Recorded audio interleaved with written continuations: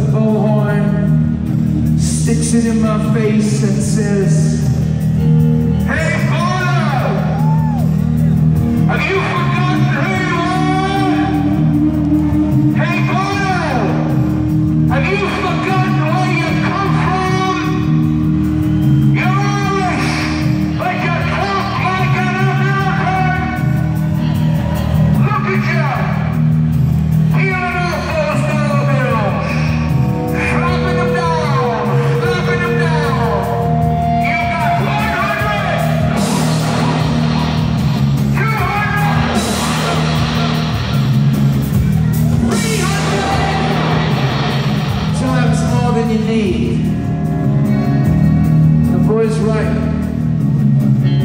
Cause I can see those private planes Since I can see those private planes